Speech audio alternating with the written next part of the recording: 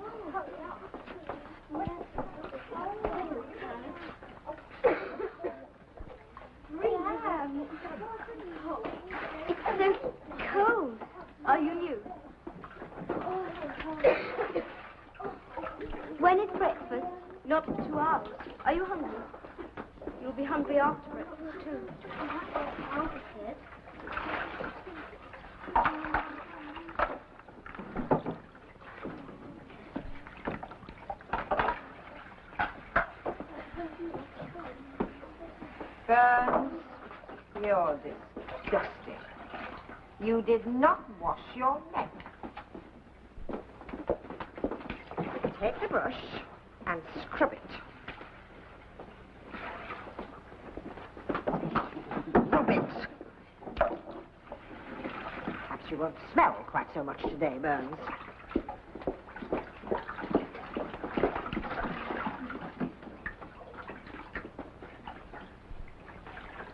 Once again, it is my duty to remind you that we are not here to pamper you. You are here because God, in his wisdom, has chosen to make you orphans and dependent on the charity of others. If ye suffer hunger or thirst, for my sake, happy are ye. Who here is hungry? Who here is thirsty? Oh, surely one of you is hungry. Surely there is one hungry child in the school. Ah, there is one. Step forth. Let us see who it is.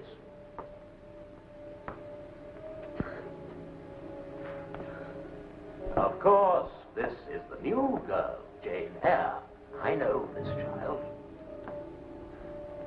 She was sent here by her aunt, a benefactress of this school. Bring a stool so that we may all see her. Come here, girl.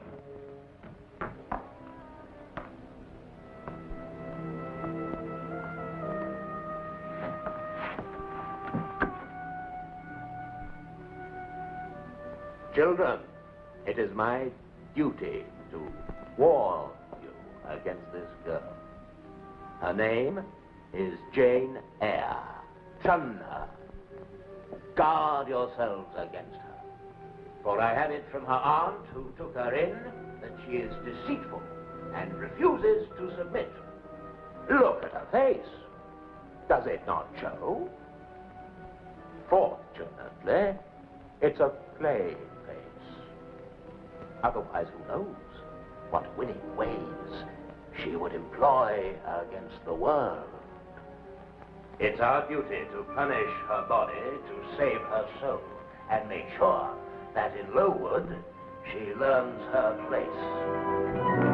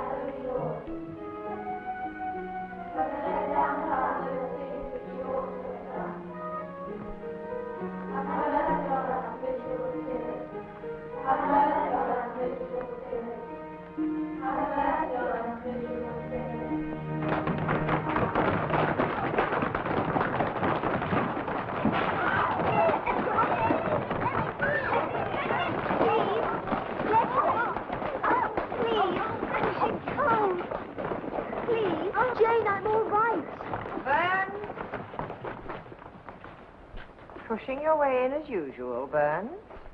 For your pains, you will sit in the corridor.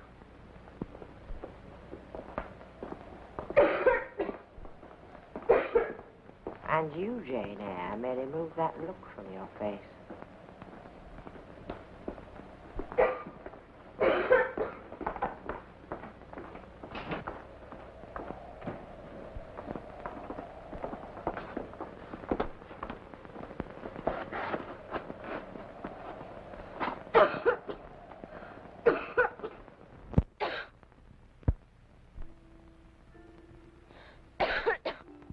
Helen, Helen. Jane, go to sleep. It's late. I can't sleep. Are you ill? No, it's only the cough. I've always had it.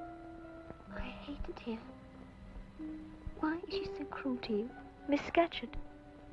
Oh, she dislikes me. I hate her. No, you mustn't hate Jane. I do.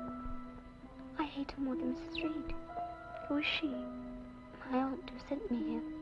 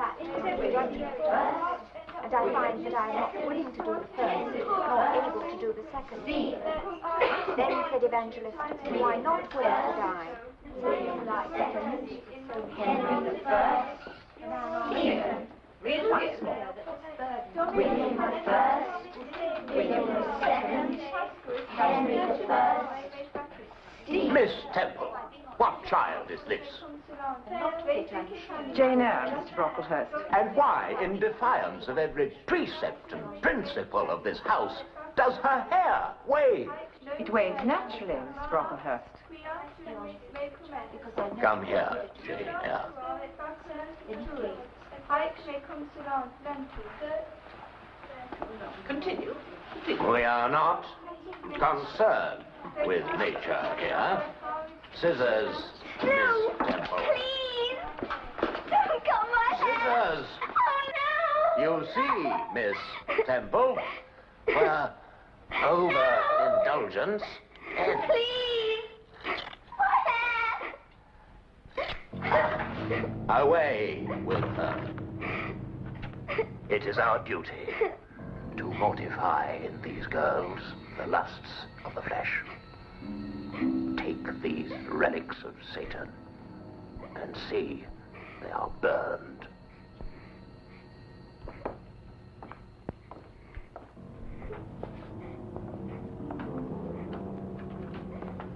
Eyre, you will stand on a stool for half an hour and meditate on the virtues of submission. No one will speak to you for the rest of the day.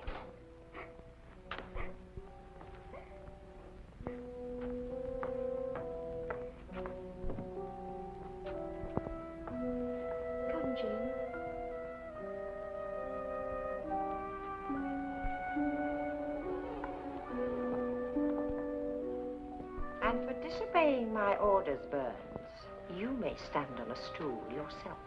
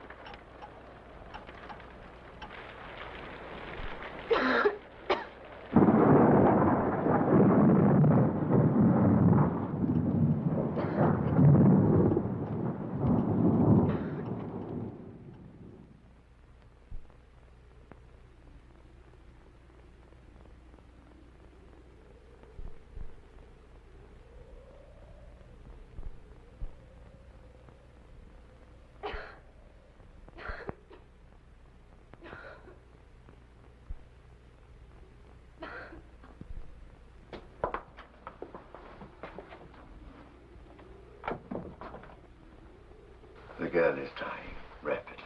You know that, of course. Yes. I've made arrangements for her to go home. Oh, good. Yes, good.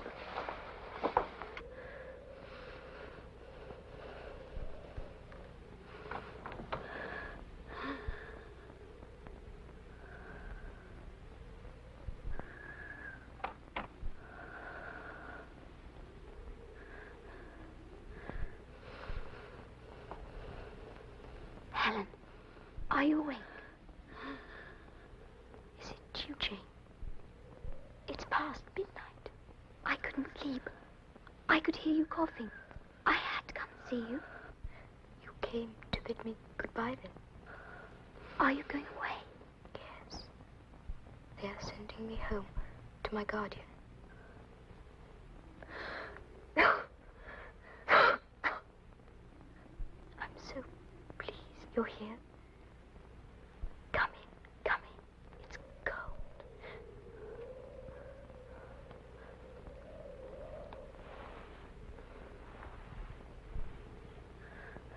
Oh, Helen, don't stay away long. Come back soon. I shall. You'll see. When the warm weather comes and the heather is in bloom on the moors, I'll be back. We shall have long talks again, you and I, just as we used to. Long talks. Oh, Jane, I'm so tired, so tired. Stay with me and be here when I come back. I shall be here, and I will keep you warm. I will give you strength. You shall have all mine, and we'll stay together. Just you and me forever. And we'll live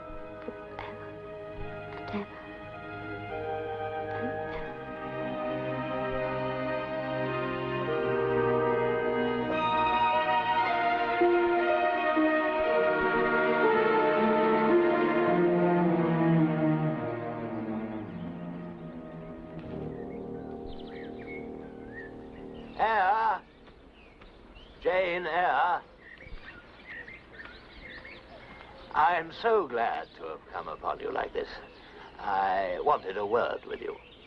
I understand you applied to a Mrs. Fairfax of Thornfield for the post of governess to a little girl. Yes. The governors are pleased to give references, Thank you.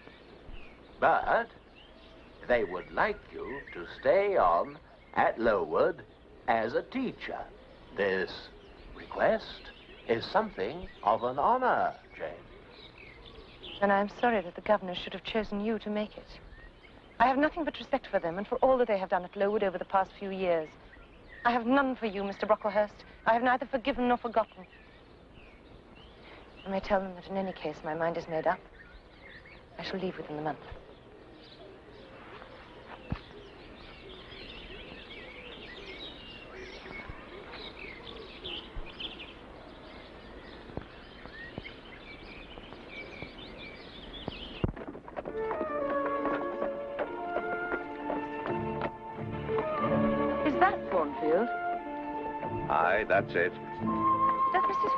Live alone?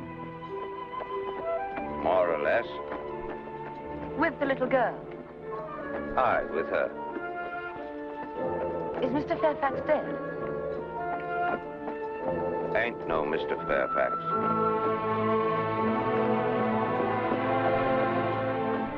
Miss Eyre, we've been expecting you.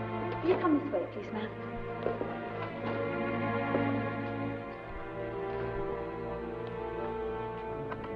Ah, how do you do, my dear? What a long journey you've had. You must be cold. Come and sit down by the fire. It is Mrs. Fairfax, isn't it? Yes, you are quite right. Won't you take off your bonnet? Oh, thank you. I'm so glad you've come. It will be very pleasant to have a companion. Thornfield is a fine old hall, but it can be very lonely. Shall I have the pleasure of meeting Miss Fairfax tonight? Miss Fairfax? My pupil. Oh, you mean Miss Varens. I've asked Sophie to bring her down just to greet you. She is not your daughter, then? Good heavens, no. I've no family. She's Mr. Rochester's ward. Mr. Rochester? The owner of Thornfield. I thought Thornfield belonged to you. Oh, good heavens, child, what an idea. I'm only the housekeeper. But Mr. Rochester is away most of the time, traveling, so we rarely see him. Ah, here they are. Come, Miss Adele, and greet the lady who is to teach you. This is Miss Eyre. C'est là ma gouvernante Mais oui, certainement. Tu es française? Mais oui. Oh, vous parlez français Oh, oui. But I had no idea that my pupil was to be a little French girl. Ah, that is for you. You speak French. Oh, madame, thank you for my governess. I hope you'll be very happy and learn a great deal. And now Miss Eyre is tired, and I shall show her to her room. Au revoir, Miss Eyre. Very pleased to meet you. Bonne nuit, Adele. We shall meet in the morning.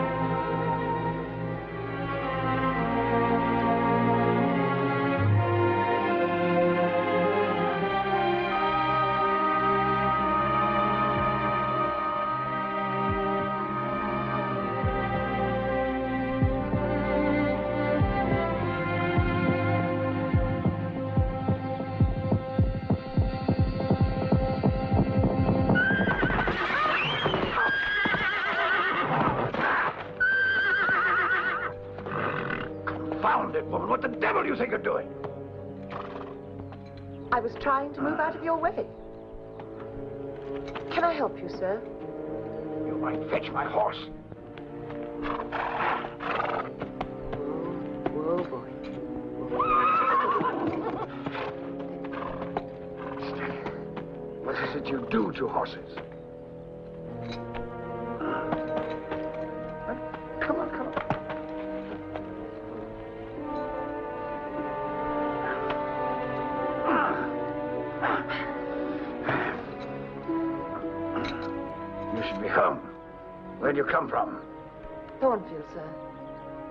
Thornfield. Not a guest, I think. No, sir. Though it's clever of you to suppose that just from looking at me. I'm the governess. Hmm. You'd better get back before the dark comes.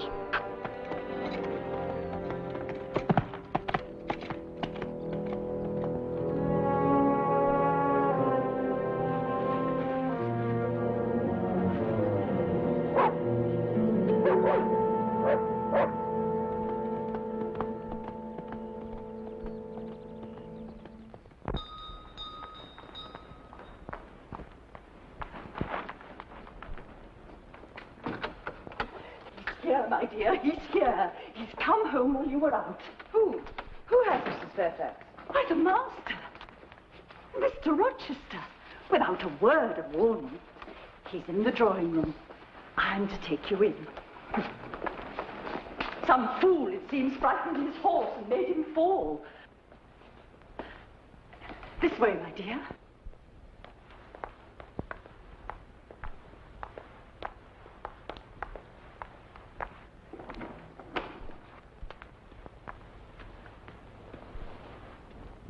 Here is Miss Eyre, sir. She has just returned. Eyre be seated.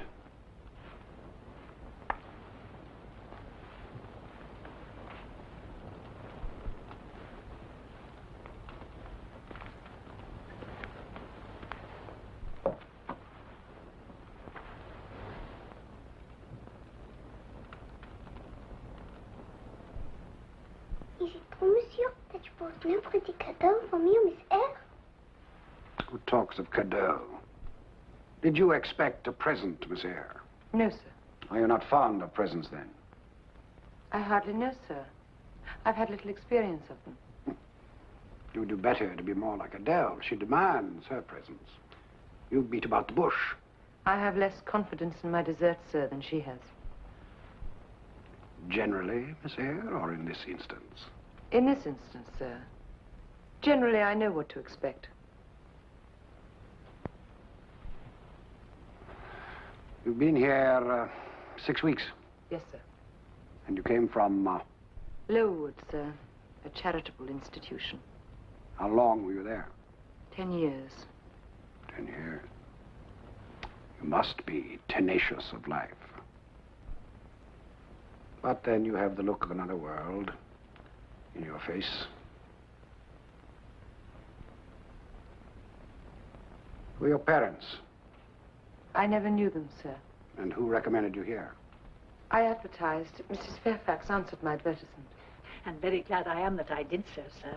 Miss Eyre has proved invaluable. Flattery will not bias me, Mrs. Fairfax. I shall judge for myself. She began by felling my horse. Well, what did you learn at Lowood? Music? Did you play? A little, sir. Of course. They all play a little. Well, go to the piano. Play something.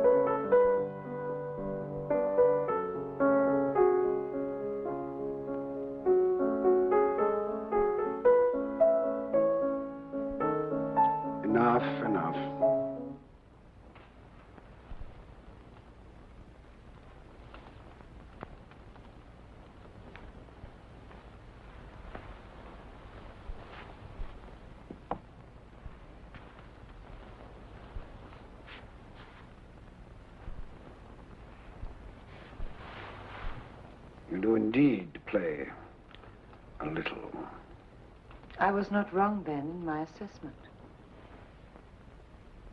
You're very cool. An orphan child of low degree. Where do you find such coolness? Out of my head, sir. The one I see on your shoulders? Yes, sir. And has it other furniture of the same kind within? It is well stocked, I hope, sir.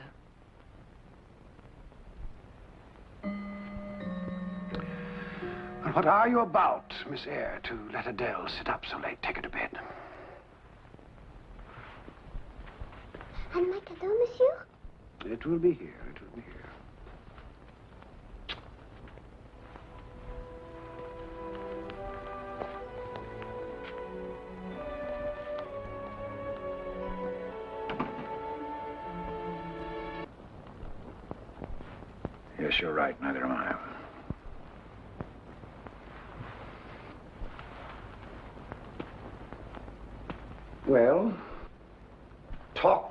To me, Miss Eyre. Don't just sit there. About what, sir? About what? About anything. Can't you see that I'm in a mood to talk? Tell me how you get your peace of mind. Ah, Remorse is the poison of life. Dread it if ever you are tempted to err.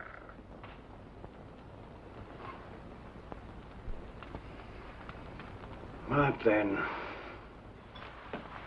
What could ever tempt you? Where are you going? To put Adele to bed, sir. Never mind, Adele. She is happy. As her mother was.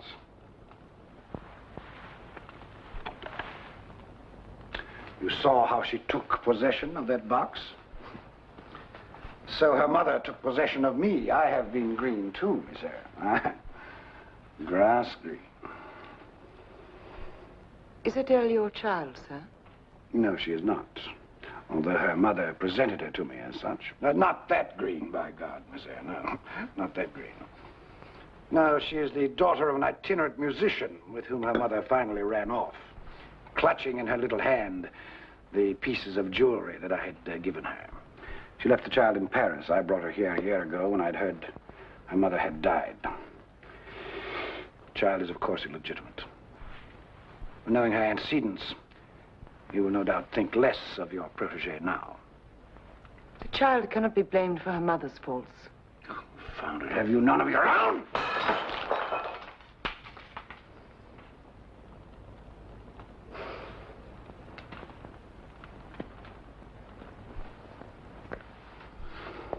Well, good night.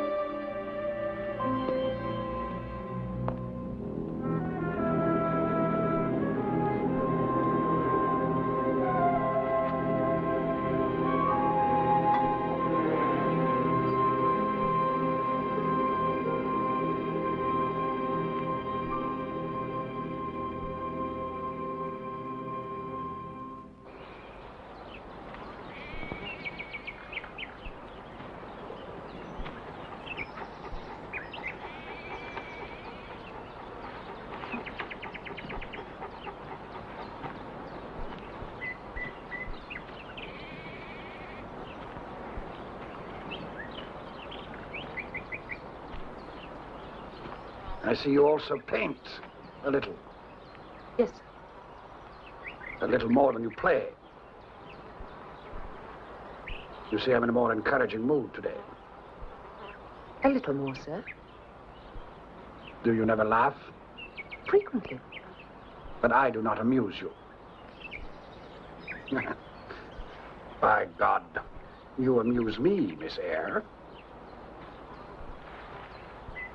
Uh, you may uh, take tea with me later. Cheer me up. It's a new role for me, sir, that of court jester. But if it cheers you up, I'm happy.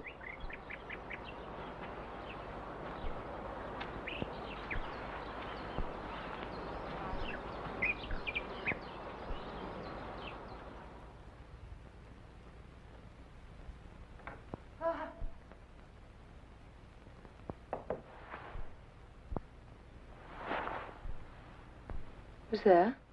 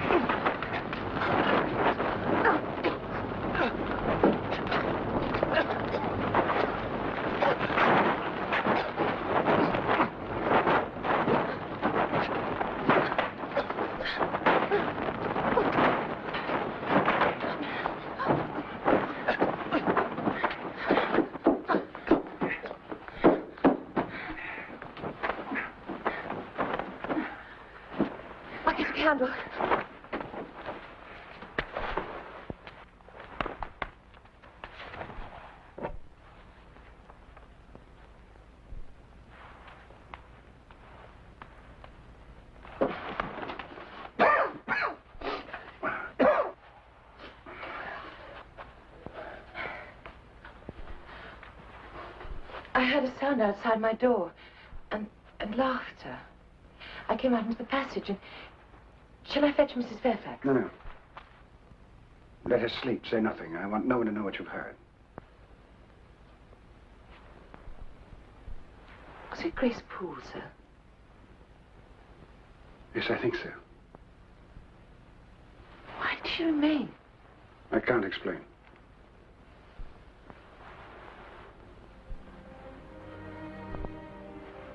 You saved my life.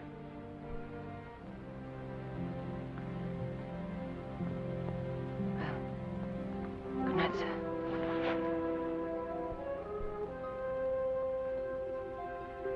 I knew you would do me good. I felt it always. There's something about you, Jane.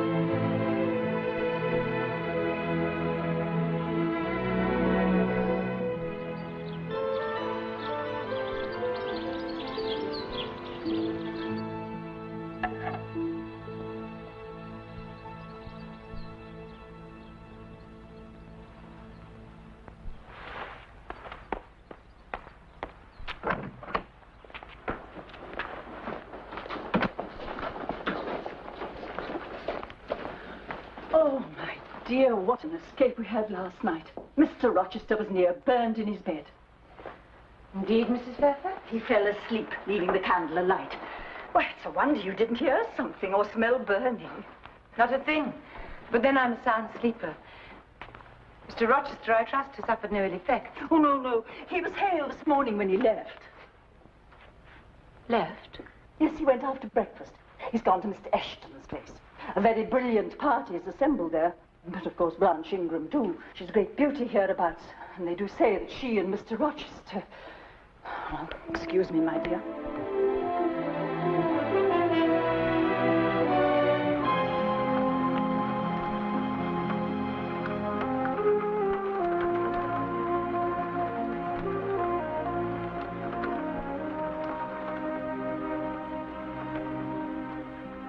When will Mr. Rochester come back? I don't know. It is nearly three weeks. It is long, n'est-ce pas? Perhaps Miss Ingram will not let him go. Perhaps he is a prisoner. They say she is beautiful.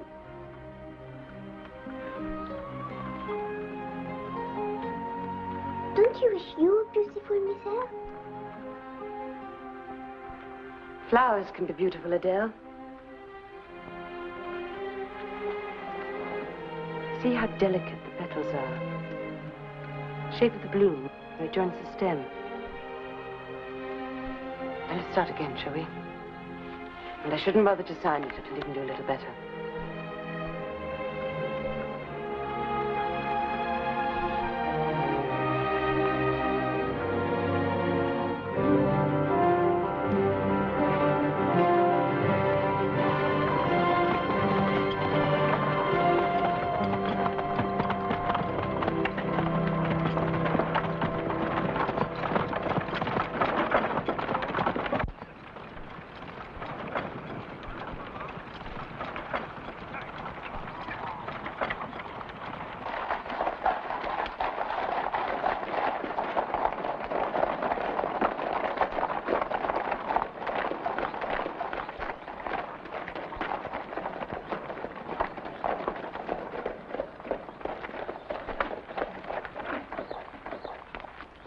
Mrs. Fairfax. is Fairfax. Mrs. Fairfax, confound it, we have guests. Ah, We'll be staying for uh, a while. yes, come right in, please. We'll go right into the drawing room. We'll do our best to refresh you. Oh, very kind. Come along. Thornfield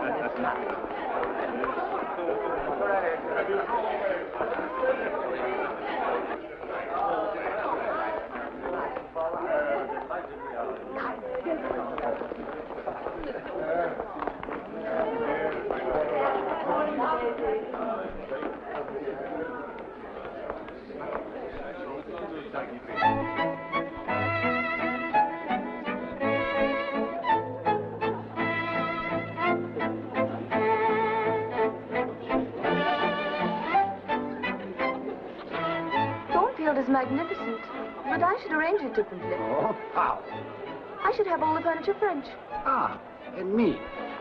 Would you uh, rearrange me too? You? Oh, you I should leave like an old but well-loved oak chest.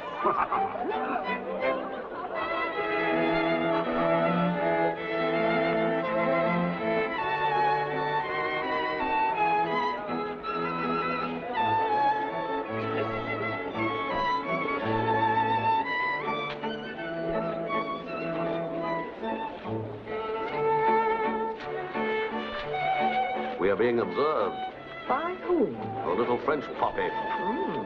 She's a mystery, that one. Oh, she's the daughter of an enigma. You think? He says she's his ward. Wouldn't you?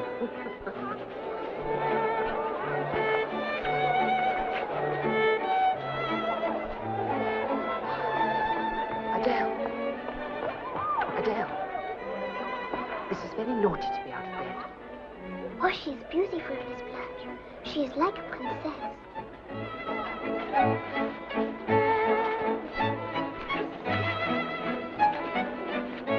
Oh, I do hope she will marry Mr. Rochester.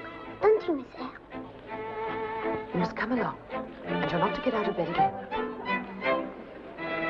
Adele has been captured by her governess and uh, led away. Oh, she's a plain little thing. I think she's pretty. no, I mean the governess. Oh.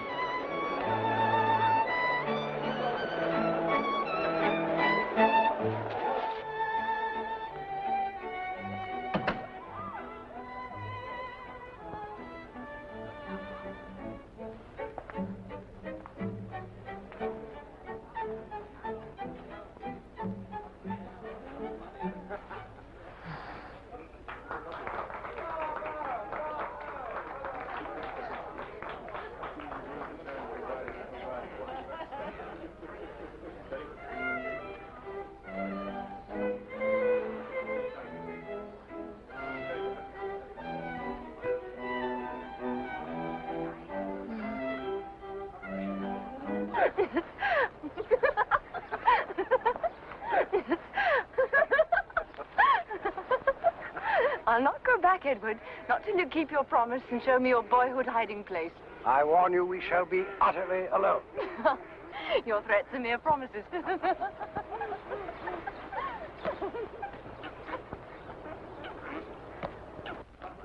Ah, there you are. They're just about to come out of the dining room. I'll take Adele into the drawing room. Perhaps you'll ask Sophie to come for her. But Mr. Rochester expressly asked that you remain, my dear. Very well. Come, Adele.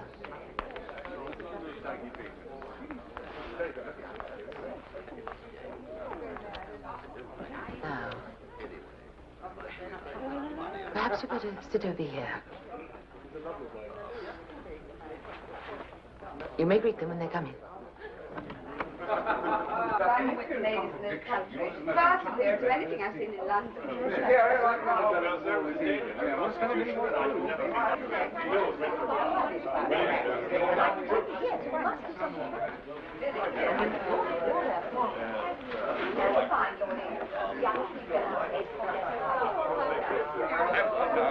We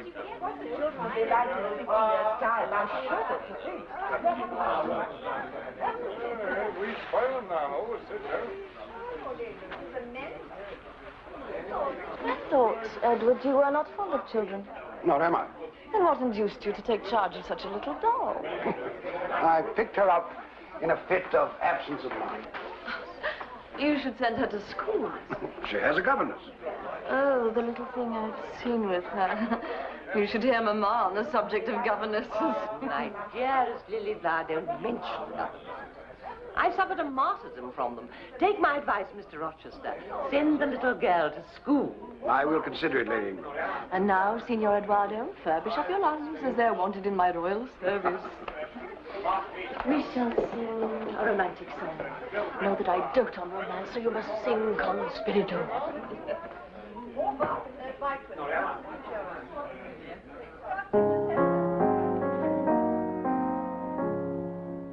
Youth's the season made for joys. Love is then our duty. She alone who that employs well deserves her beauty. Let's be gay while we may. Beauty's a flower despised in decay. Youth's the season made for joys. Love is then our duty. Let us drink and sport today. Ours is not tomorrow. Love with youth flies swift away. Age is naught but sorrow. Dance and sing, time's on the wing. Life never knows the return of spring. Let us drink and sport today. Ours is not tomorrow. Oh! Ah, a opera.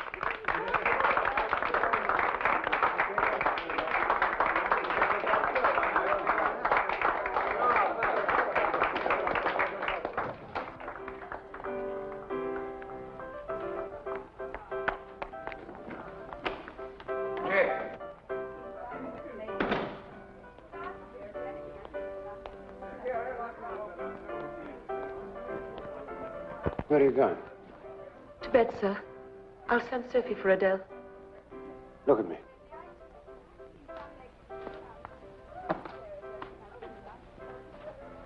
You're depressed. What about? Nothing, sir. Nothing. I'm not depressed. But you are. There are tears in your eye. You see? One has slipped from the lash and fallen.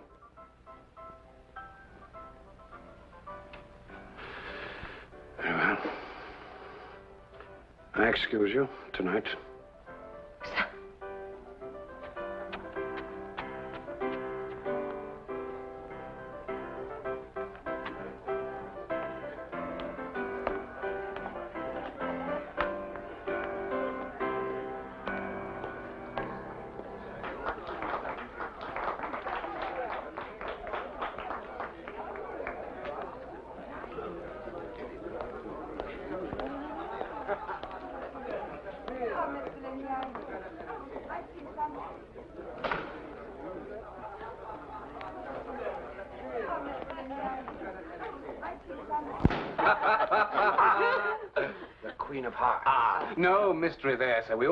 What that means. What? A joker? A fool, sir? Me, sir? No, sir, not you, sir. Right. And on the other hand, uh, that uh, could mean a journey. A honeymoon? No. Come on, come on. The ten of diamonds. Now that's fire. Fire everywhere. No, that worries me. It's the fire in your heart, Edward. There is someone to see you, sir, in the morning room. At this hour? He says it's very important, sir. He's come a long way. From the West Indies. There. The joker was a journey, Edward. The ace of spades. And what does that mean? Who know that life's an idiot?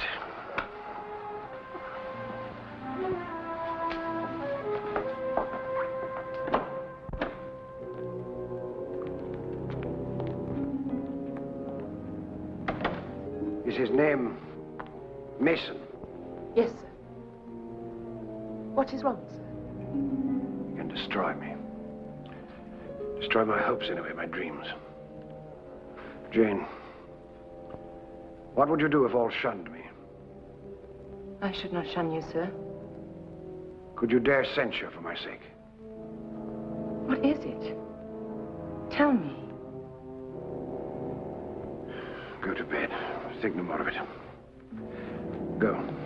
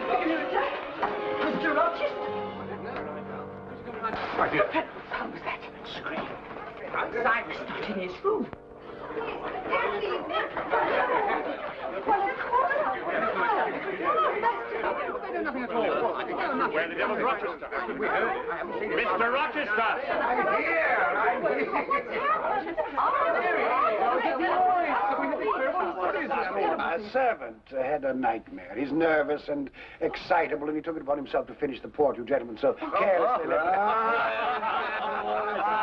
So should our consciences trouble us all. Uh, go back to your rooms. It was nothing. Please.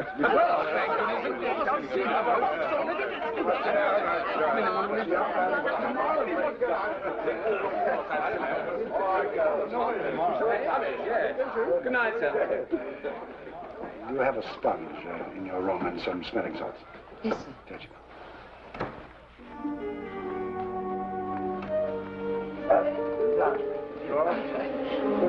Good night. Wait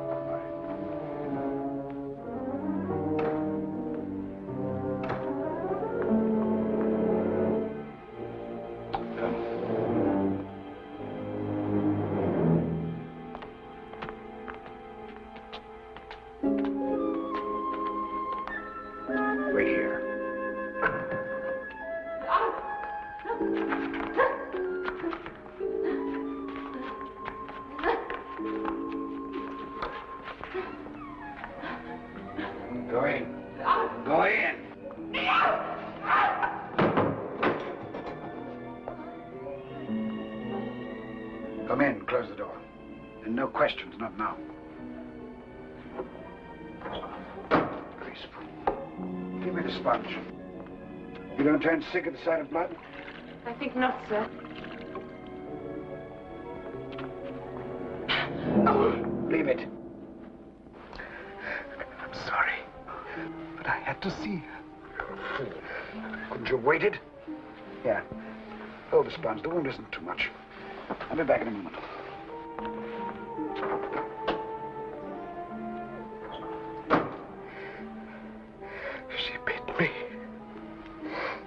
And I fell from her hand and she bit me.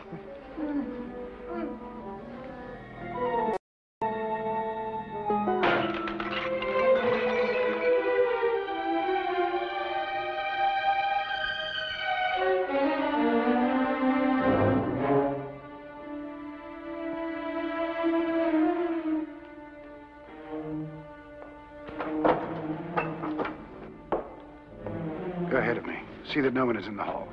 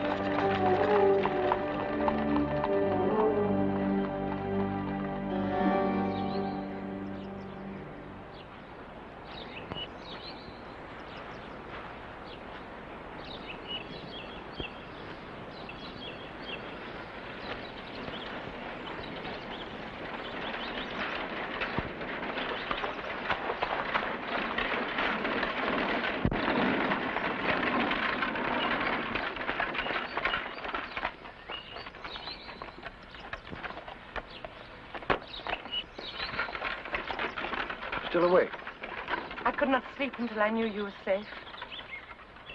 How is Mr. Mason? He will be all right. He's with the doctor. And the danger you thought you were in last night? Is that past? I can't vouch for that until Mason is out of England, which will be soon, I hope. He did not seem a man willfully to injure you. No, but unintentionally he might. Sit down. And what of Grace Poole? Why do you keep her on here? I have no choice. But surely... Bear with me for a while. Don't press me for answers. I... I count on you more than you know.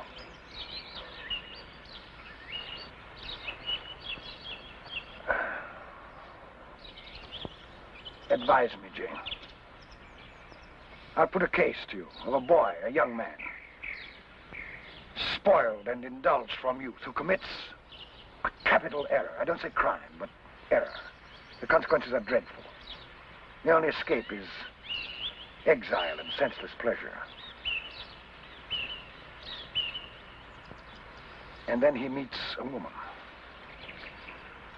A fine woman with qualities he has not met in 20 years. He has a chance of living like a human being again. Only convention stands in the way.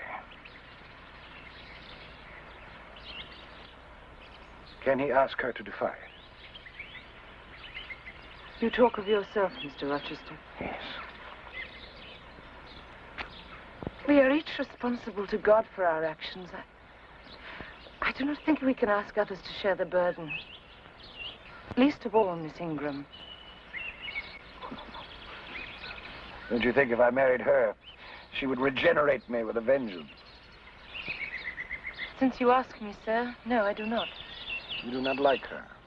Come, be honest. I do not think she is for you. Presumption. And who is for me then? Have you seen someone you can recommend?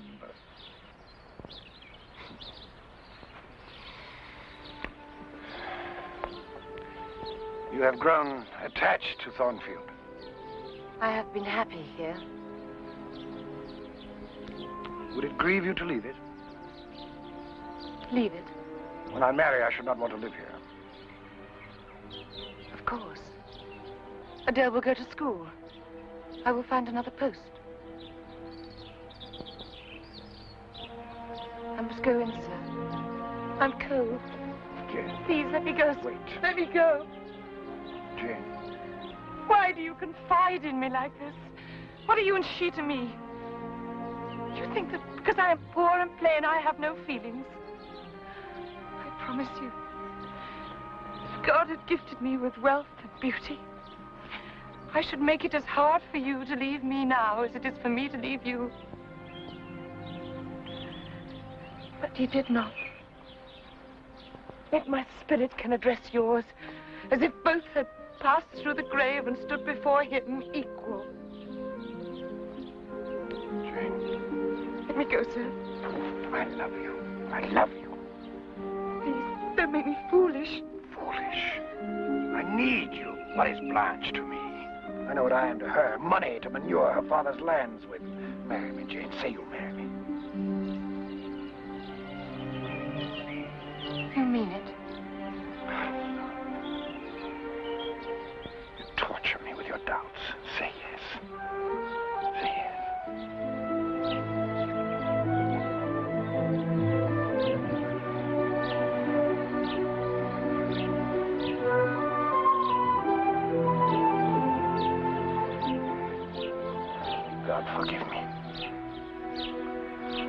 And let no man meddle with me, or I will keep her. Keep her.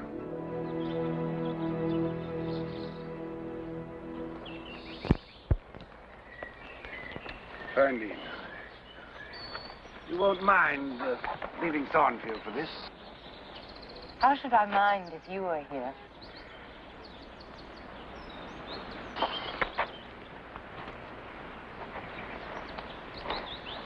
And we'll travel, too. You know, ten years ago, I flew through Europe half mad, disgust, and rage. Now I'll return. With an angel as my guide. I'm not an angel. Don't expect it of me. What do you expect of me? For a while, you'll be as you are now. Then you'll turn cool and capricious and stern, and I'll have much to do to please you. But when you're well used to me, perhaps you'll like me once again.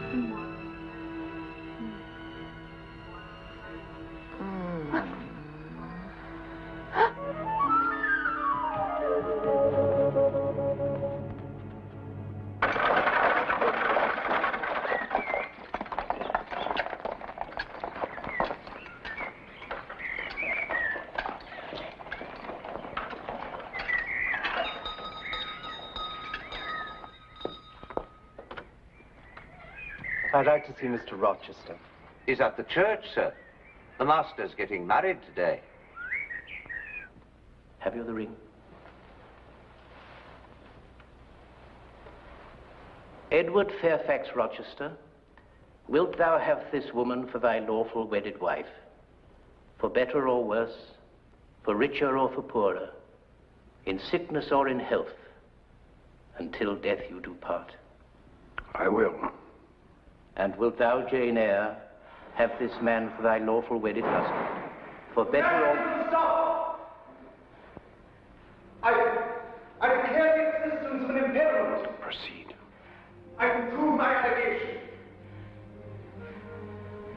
An insuperable impediment exists. Go on. Mr. Rochester, I cannot go on. What is the nature of this impediment?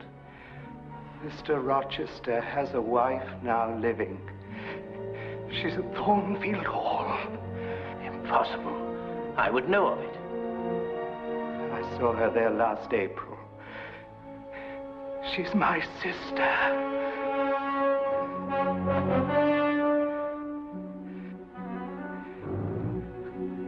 I'm sorry, Rochester, but it is not right. Oh, By God, it is not right.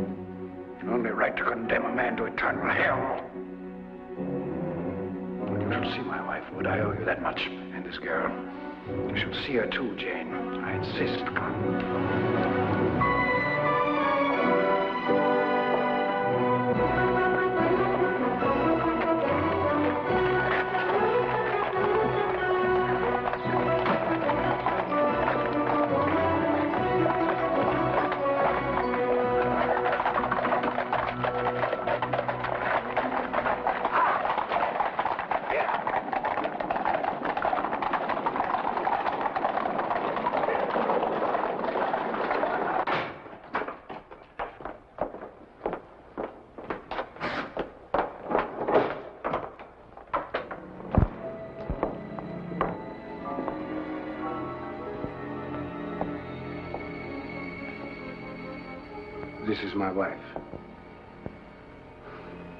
Such is the sole conjugal embrace I am ever to know. Well, and how are we today, Mrs. Poole? We're tolerable, thank you, sir. Snappish, but not outrageous.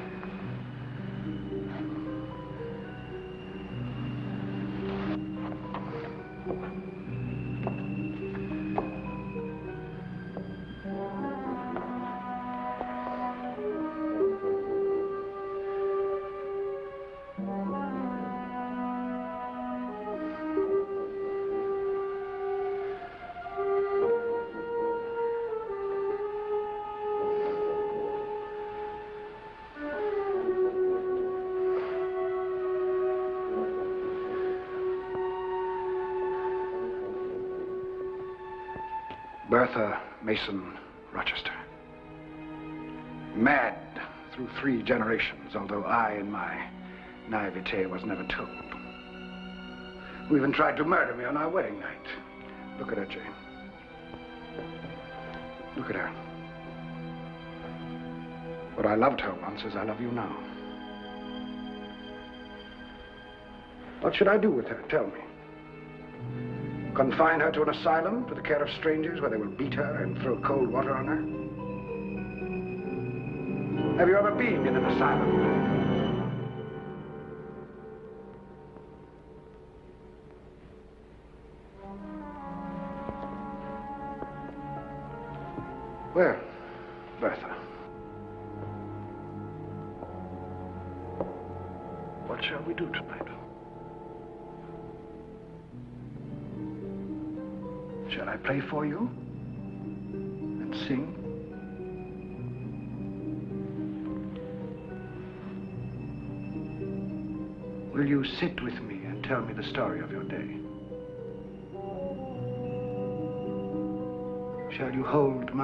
Your breast whilst I sleep?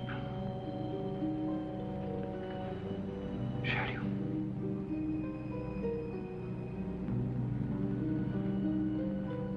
Shall you?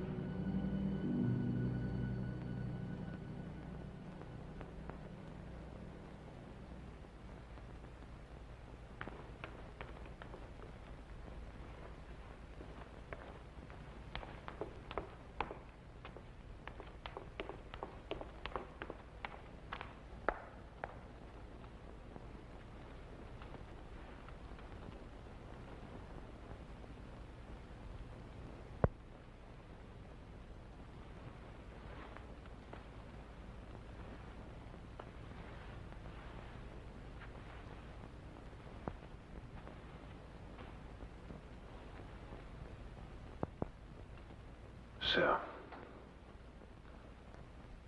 come out at last. You shut yourself in your room and grieve alone.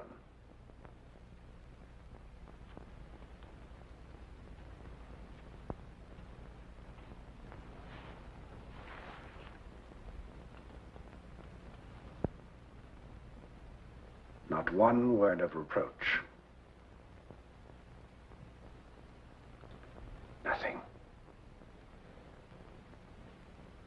Is that to be my punishment?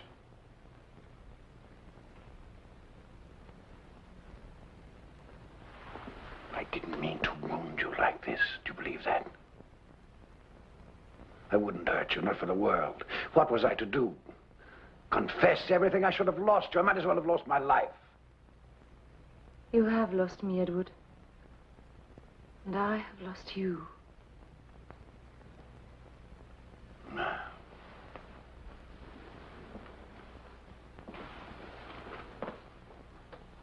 Why do you say that to me?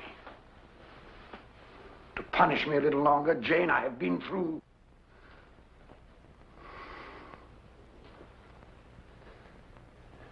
For the first time, I have found what I can truly love. Don't take it away from me.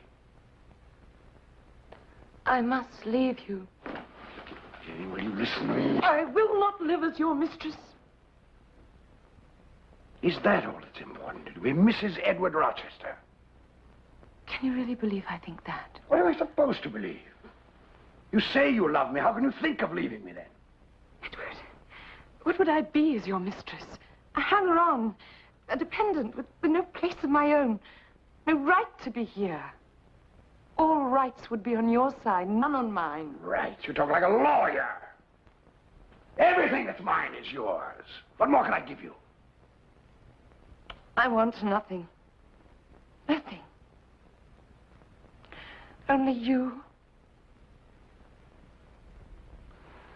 Stay, Jane. When I come to you, Edward, I come to you as an equal. I will not be less. Even for the man I love.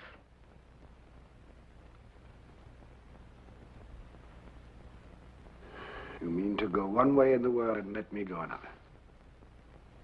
Yes. This is wicked. Who in the world will care what we do? I care. You have a wife still living. Living? She still lives. In whatever state God has seen fit to visit on her, she still lives. She cannot help what she is. I will not slip past her slyly in the night to take my place in your bed. Fling me back then. Upon the life I lived before. You need no more choose that than I. We are born to strive and endure. You will forget me before I forget you. You make a liar of me with such language. Well, go then, go. That's all I've seen to you.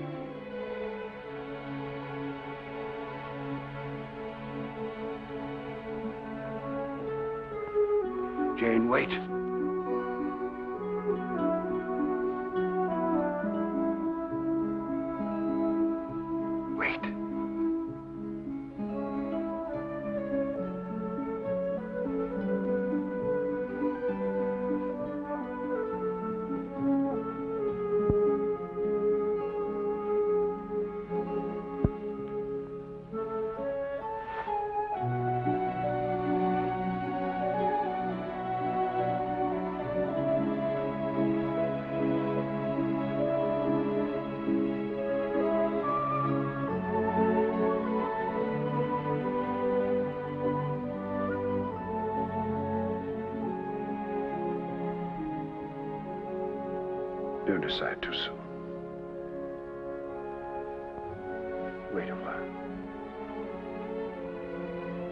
Wait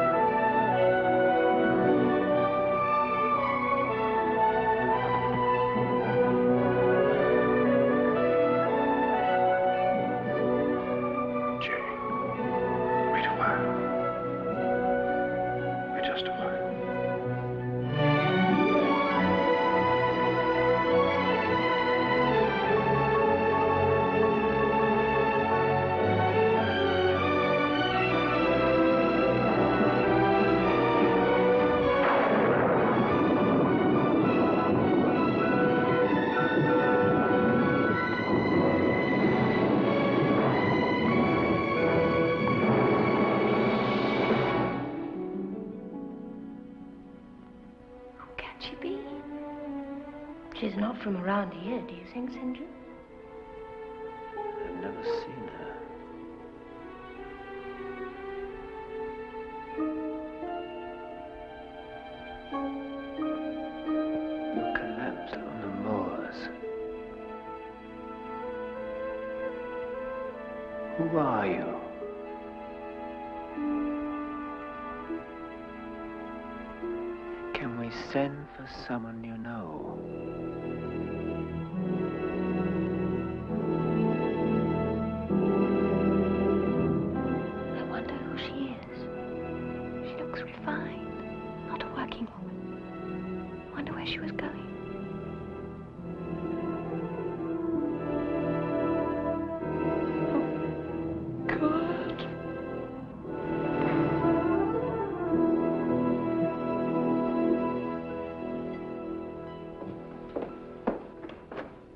No, it does get very dull here. St. John often remarks, though what he should have to complain about, I'm sure I don't know, for he's never here. He works very hard. He's devoted to the church. Yes, he wants to go to India, doesn't he, Di, as a missionary.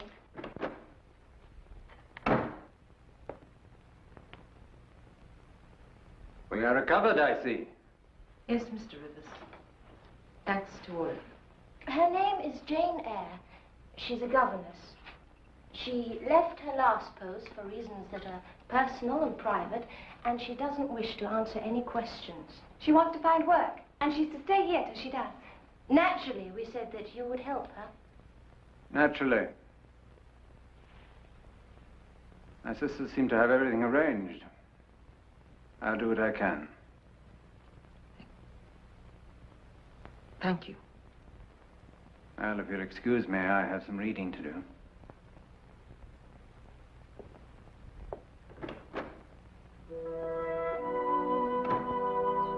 No, he just stood there stuttering, getting quite red in the face. Oh, poor Mr. Sutcliffe.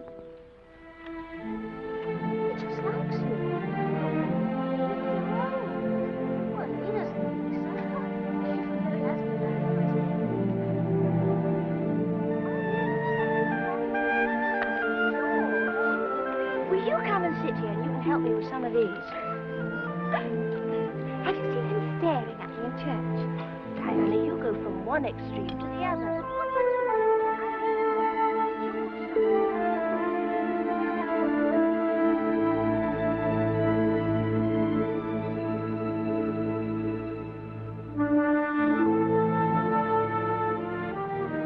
Good morning. I thought we might go for a walk. All of us. Don't you think you walk enough miles in this parish, St. John? I'd like very much to go.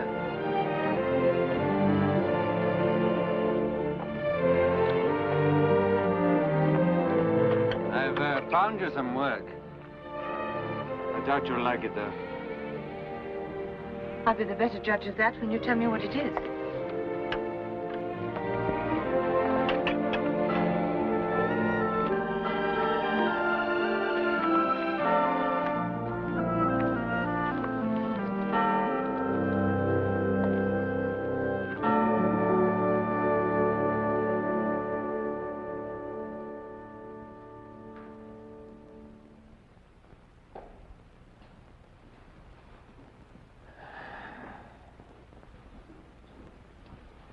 Lovely church.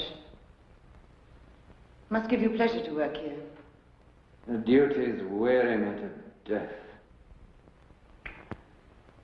Does that shock you? Your sisters told me you wanted to go to India. You disapprove? I could serve God in many ways. I need to serve in a large way. I have to. s- I have to serve my Savior.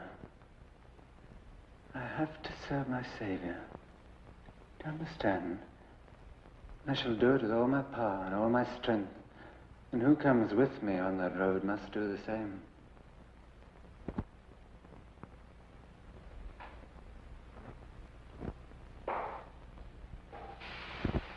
You're not married. No?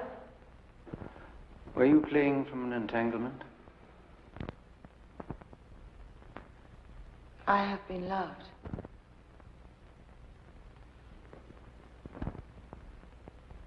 Let me show you something.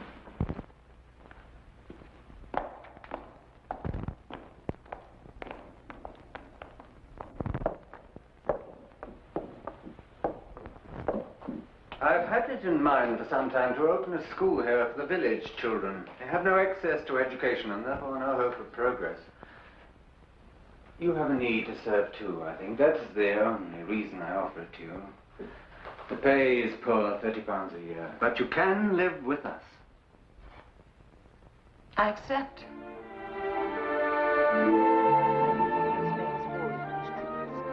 Music and furniture, the roofs of our houses, ships, the paneling you see in the church.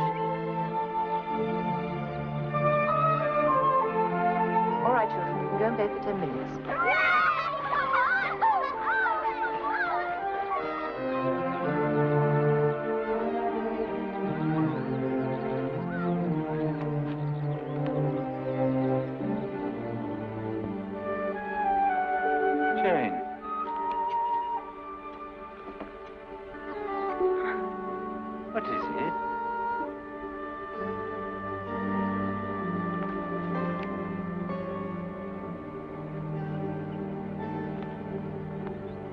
Wanted only to know.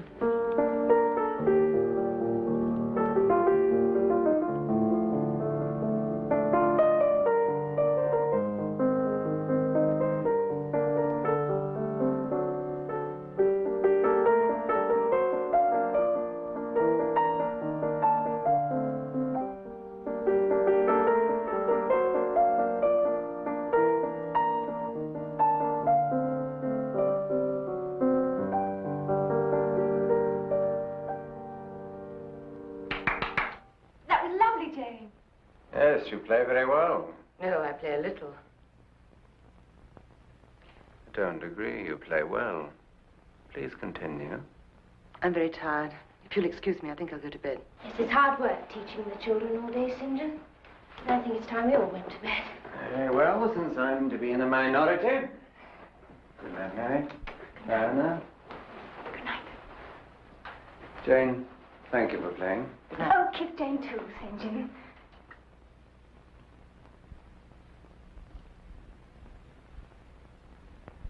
Good night. Good night.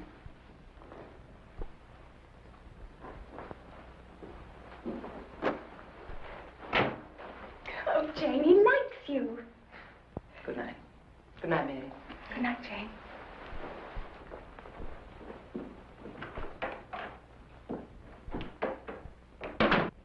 To go back is nothing but death. To go forward is fear of death, and life everlasting beyond it. I will go forward. So Mistrust and Timorous ran down the hill, and Christian went on his way. All right, children, you can bring me the book. Go home now. Good afternoon. Good afternoon.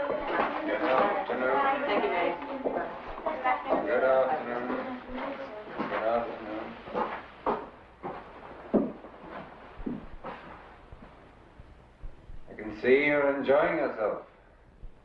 Yes. Yes, I am. Surely you find it dull.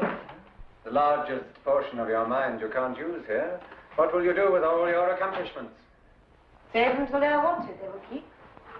Have you ever thought they may be wanted now, at this minute, in some corner of the world where God's voice is not heard at all? Has that never occurred to you? The school is enough for me. Is it? Is it really, Jane? Have you ever looked into your heart and asked yourself if you can't do more? I did.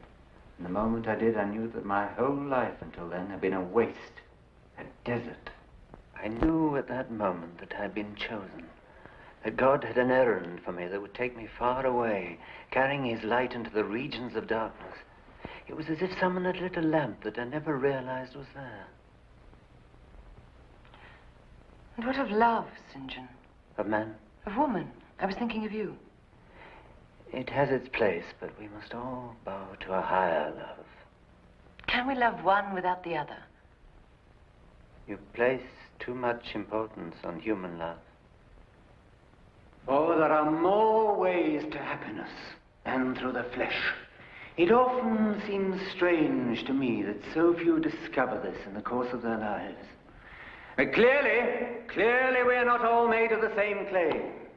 There are some who have been given a strength far beyond their needs. I urge them to know that strength, what it is and why it was given. I bring an offer straight from God to take their place in the ranks of his chosen. I say, come with me. I claim you for my sovereign service. I claim you for this great work. Join me and have no fear. God will protect you, for it is his work you have undertaken.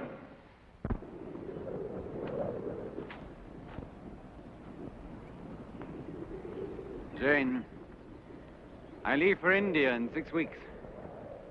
Come with me. God intended you to serve as he intended me. Think what you could do there. You could run schools, help in hospitals. It will be glorious work. I'm not fit for it. I've no vocation. But you have. You don't realize it yet, but you have. As much as I. I've watched you day after day and seen it grow and develop. Don't you see? God sent you here for a purpose, to join with me in this great work. I know it must seem strange to you at first, but you'll see what impetus you'll draw from our marriage. Marriage? Marry me. Together our strength will more than double what we each have, and we'll give it all to God. This will fill an empty place for you, I know it. Work is the best balm, the best healer. Wrench your heart away and fix it on your maker. But we don't love each other. We can learn. Jane, we'll work. We'll spend ourselves in the service of God, you and I, together in some foreign land, loving God and, who knows, finding we love each other. Isn't that the best way, isn't it? Say yes, Jane, say yes. I need you as I never needed anyone. Oh, help me, help me, Jane, help me. Give me your strength as well, for I need it. Can't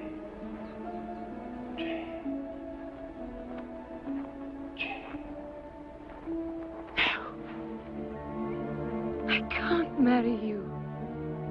I could never marry you. You say you need me. The one thing I could give you means nothing to you, nothing. You ask me to marry you and speak no word of love between us. God, better to shut me in a tomb and let me die. For I have been loved, St. John. Loved. Oh, dear heaven, I have been loved. I must go to him. It may be too late. I must go. You're rejecting God. No. I'm finding him. And his people. And the love they have for each other. Each other, St. Each other. You cannot love just God alone.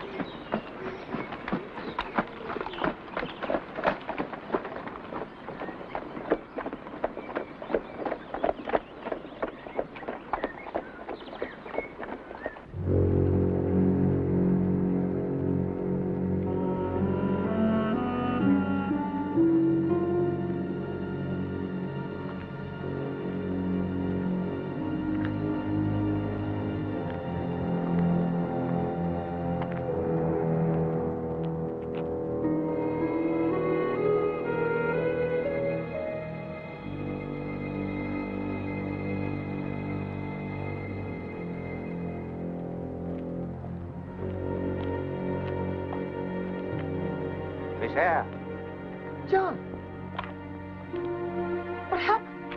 she burnt it, set light to it. It was terrible, Miss Eyre. She got away from Grace Poole. She climbed onto the roof and stood there shouting.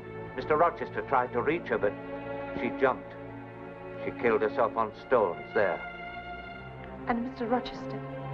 The floor gave way beneath him and he fell through. He's not dead, Miss Eyre, but Where is he? At Ferndean with Mrs. Fairfax. Miss Eyre, a burning timber fell across his face. He's blind. Stone blind.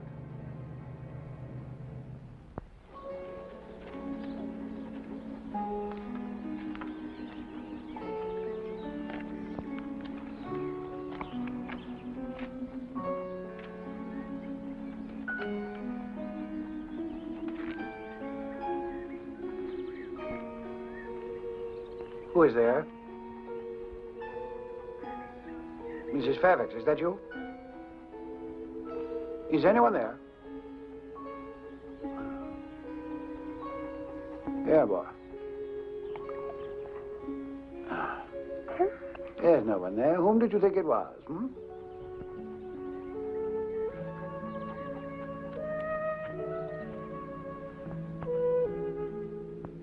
Is anyone there, I say? Who is it? It is I. Jane. Yes. Jane.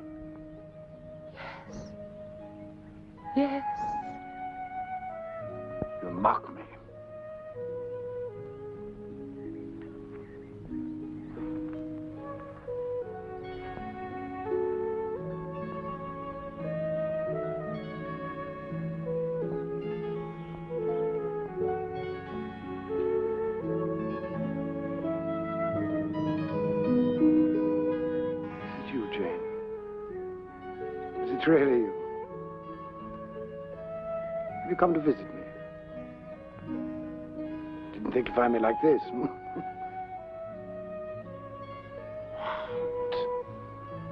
Crying. No need for tears. How long can you stay? Uh, an hour or two? Stay a little while. Or, or do you have some fretting husband waiting for you? No. No husband yet? Well, that's bad, Jane. You're not pretty, can't be choosy. No, sir. Still, I'm surprised you've not been asked. I didn't say I'd not been asked, sir. I see. That's... That's good, Jane. You should be married. Yes, sir, I think so. And so should you. You can't be choosy, sir, any more than I. Perhaps not. Well, when is this wedding of yours? I'll uh, bring Adele home from school. Wedding, sir? Devil take it, didn't you say you were getting married? No, sir.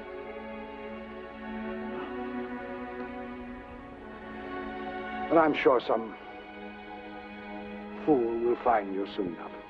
I hope so, sir. Some fool that found me once before.